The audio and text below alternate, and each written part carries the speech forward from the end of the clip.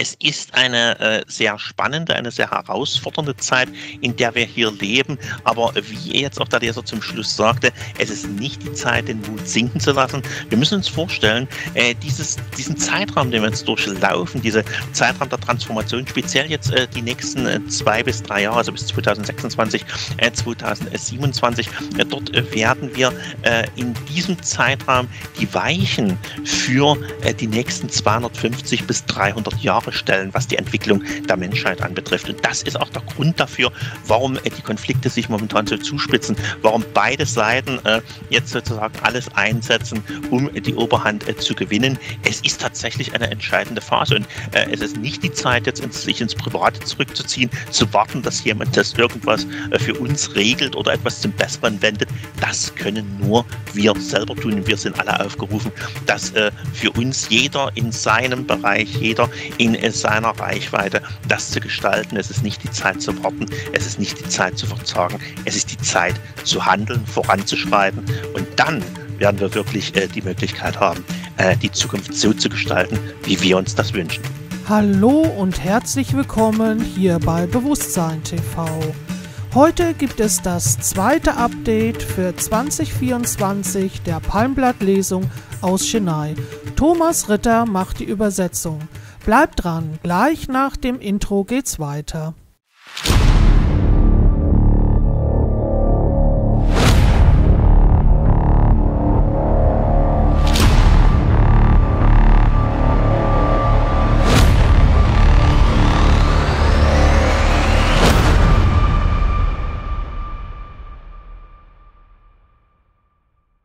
So, wir haben uns hier wieder zusammengefunden mit unseren indischen Kollegen.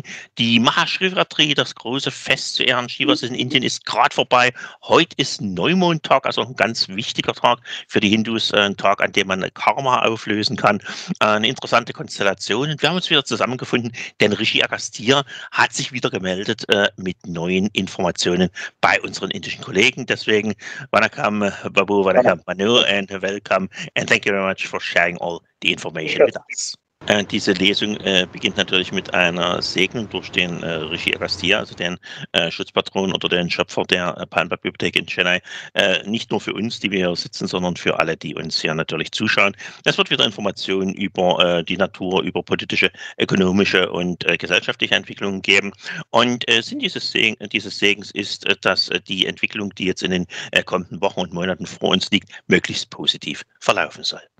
Äh, da gibt es eine Information über ein äh, Seebeben, verbunden auch mit einem Tsunami, also einer Flutwelle.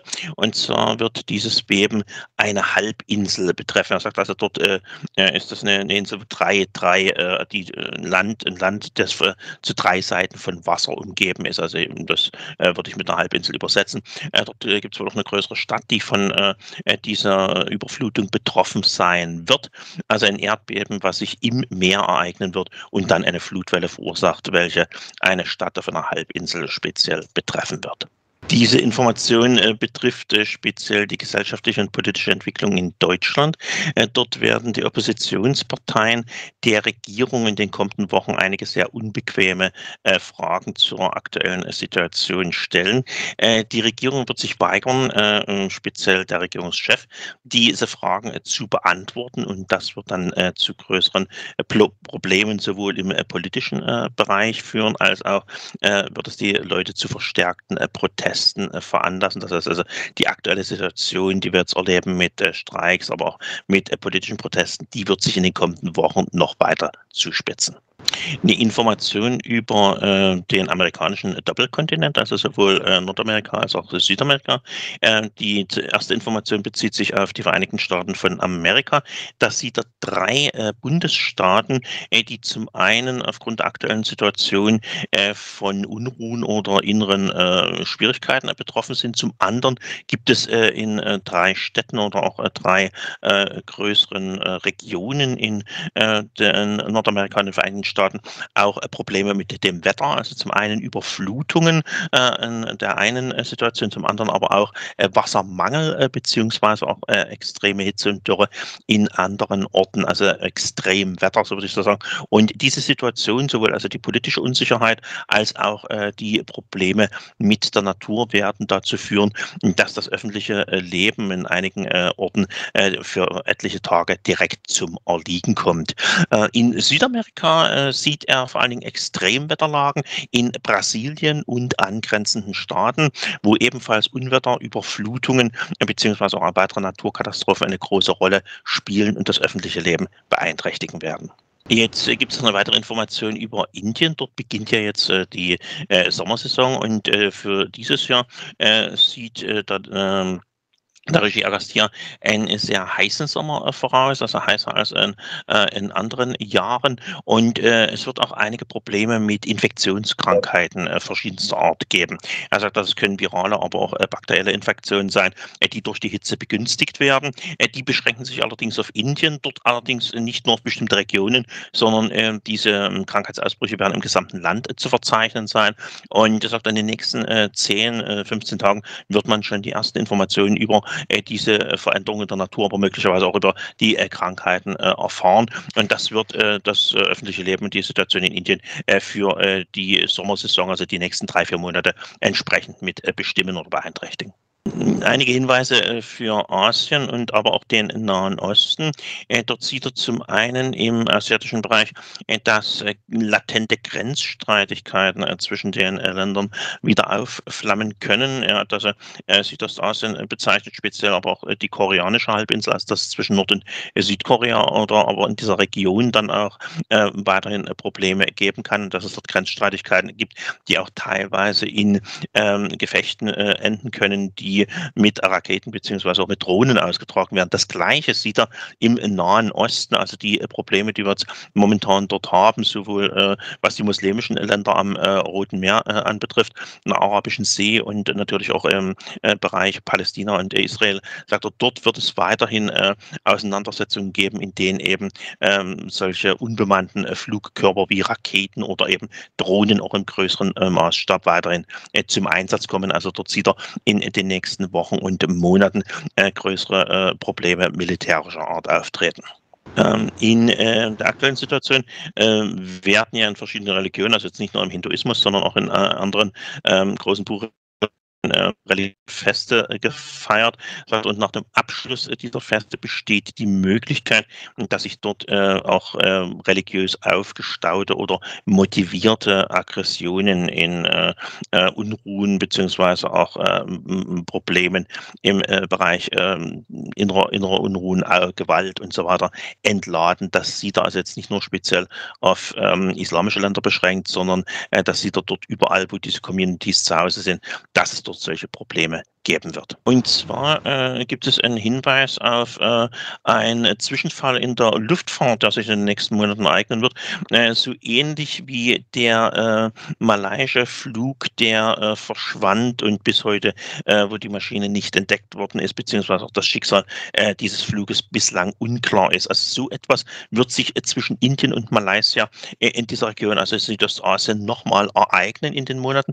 Danach, sagt er, wird man aber ähm, das Schicksal des letzten verschwundenen Fluges, also dieser, äh, äh, dieser malaiischen Maschine, die bis heute nicht aufgetaucht ist, das wird man dort äh, entschleiern können. Also da wird es Hinweise geben, was äh, aus diesem Flug wirklich äh, geworden ist und was die Ursachen auch des Verschwindens äh, gewesen sind. Das wird so eine Art Koinzidenz sein, sagt er, weil eben dieser, ähm, dieses Ereignis sozusagen nochmals wiederholen wird in der in ähnlichen Region. Diese Information bezieht sich auf den Nahen und den Mittleren Osten und zwar geht es da um die Produktion oder die Förderung äh, von äh, Öl. Äh, dort sagt er, wird das aufgrund der aktuellen politischen und auch militärischen Situation der Unruhen, aber eben auch aufgrund des Wetters. Er spricht also von stark erhöhten Temperaturen, von einem sehr, sehr heißen Sommer, der dort bevorsteht, wird es also teilweise Förderunterbrechungen oder Einschränkungen geben, was die ölfördernde und verarbeitende Industrie betrifft. Also es wird dann auch sein, dass also Leute nicht mehr bereit sind, dort unter diesen Bedingungen zu arbeiten, beziehungsweise dass ihnen ihnen von Seiten der Unternehmen dann eben auch ein, ein frei gewährt wird, um sozusagen die Situation zu entspannen. Das Ganze wird natürlich zu einer Verknappung des Angebotes an Brennstoffen führen. Das heißt also, in den nächsten Monaten, also gerade in den Sommermonaten hier in Europa, wird man mit einem starken Anstieg, Anstieg nochmal von Öl ähm, und äh, sonstigen Preisen, also alles, was Treibstoffe anbetrifft, rechnen können. Äh, zum Herbst hin äh, wird sich das Ganze aber wieder normalisieren.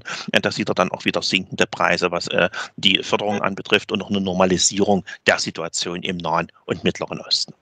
Jetzt äh, gibt es äh, weitere Informationen über internationale Organisationen. Speziell wurde hier äh, die Weltbank, aber auch die ähm, Weltgesundheitsbehörde angesprochen. Die werden in den nächsten Monaten versuchen, ihre eigene Agenda weiter voranzutreiben. Also da wird es weitere Angaben oder ähm, Ankündigungen äh, äh, von Projekten oder von Veränderungen geben, die allerdings nicht auf äh, viel Gegenliebe stoßen werden. Also da sagt er, dass in vielen Ländern und Regionen also dort ein sehr starker Widerstand äh, zu erwarten ist, so dass sich das da nicht realisieren lässt. Und äh, durch diese, äh, durch diesen Widerstand werden auch einige sehr vermögende Leute, also sagt er, die, die auf der Liste der reichsten Personen dieser Welt stehen, hat also den Jeff Bezos angesprochen, aber auch Elon Musk, die werden durch diese Situation Region äh, wirtschaftlich und auch persönlich in Bedrängnis geraten. Jetzt gibt es äh, Hinweise auf äh, den nordamerikanischen Kontinent, also die Länder des nordamerikanischen Kontinents werden in den kommenden Monaten, er hat gesagt, also speziell bis Mai, aber äh, letztlich kann man sagen auch im Verlauf dieses Jahres äh, dann äh, noch mehrfach äh, Probleme bekommen und zwar zum einen, was das Bankensystem anbetrifft, aber auch was die IT-Branche anlangt. In der IT-Branche wird es große Veränderungen geben, natürlich durch die momentanen technischen Entwicklungen. Dort wird es auch ähm, große personelle Umstrukturierungen Umstrukturierung bzw. Reduzierung geben, die natürlich nicht auf äh, Gegenliebe bei den Beschäftigten stoßen. Also da wird es in der Hinsicht in der IT-Branche große Probleme geben, auch mit den momentanen technischen Entwicklungen.